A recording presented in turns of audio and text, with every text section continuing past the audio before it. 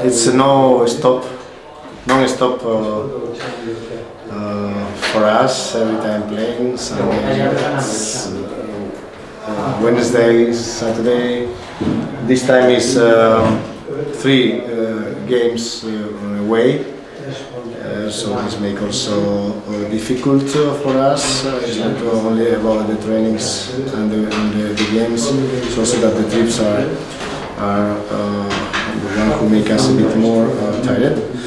But I think the team now is in a good uh, moment, uh, good, feelings, uh, good sensations.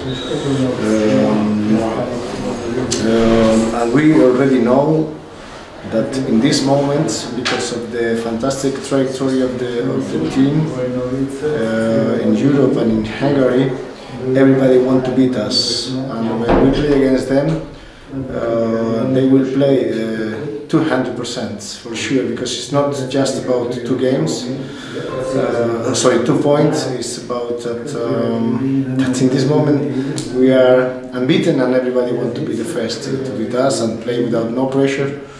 And uh, we need to find in that also extra motivation that we know that, and then uh, we need to, to keep it uh, like uh, it is, and, uh, and try to, to make this situation in a positive way for us. Uh, try to handle it, of course, and try to to, to pass over uh, this and just focusing in, in our job that until this moment is doing great.